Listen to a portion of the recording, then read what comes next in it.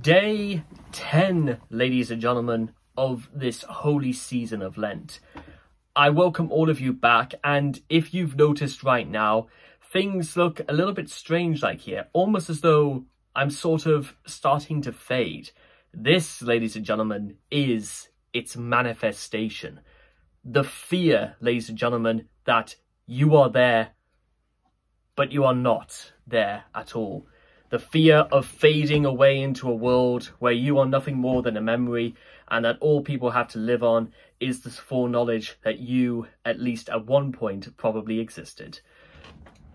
It doesn't seem altogether unnatural, ladies and gentlemen, that this should be the natural order of things if it wasn't for one thing. If this way of life, this outlook, was in any way tolerable. It is excruciatingly intolerable, ladies and gentlemen, and I'm about to explain to you why. Throughout this last week, in fact, going back to the uh, to, to Sunday, I explained uh, with great venom but great passion as well, is that if there's one thing that's got to actually change in this country as far as, you know, politicians, just normal working pe people, and you know everything else in between, I'd suggest that the first thing that's got to change is people's attitudes to each other, and the fact that people will find the most petty and minute reasons to cast people as enemies for life, and that we've got to view them with suspicion and hatred, mostly induced by the press, the tabloids, anything that actually tells us who or what the enemy is or are or what they are meant to be. As a Roman Catholic, ladies and gentlemen, and I want to say this with tremendous gusto right here and now, this is a philosophy I do not agree with. I still very much agree with the philosophy that if we are going to live on God's rock at all, we should first learn more than anything else ever before in history is to get along with each other. We should be learning how to work together, not fight each other.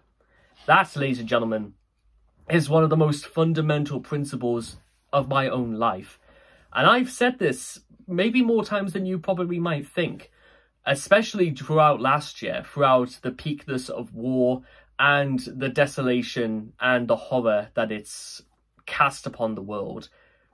But you may also remember that I said something a little bit unpopular last year. I think it was maybe probably near near Christmas time. I think I might have said it because I never once heard anybody else say it.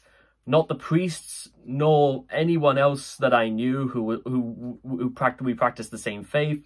Any person of any uh, Jewish uh, he uh, Jewish heritage, or who was Islamic, or who was a Sikh, or a Hindu, or a Buddhist, which is, I think, quite surprising because, and I've mentioned this before, one of my best friends who lives down south and who is also a Buddhist is actually a tremendous arbiter of peace and of the need to end conflict and to make friends and build up plans with each other. And I'll be honest, ladies and gentlemen, there's actually quite a lot of things in Buddhism that I personally would love to indulge in. I would love to explore this a, a, a, an entire culture, an entire uh, system of thought, a faith, a belief in in such things as uh, finding peace or making peace or bringing our enemies together and making them our friends.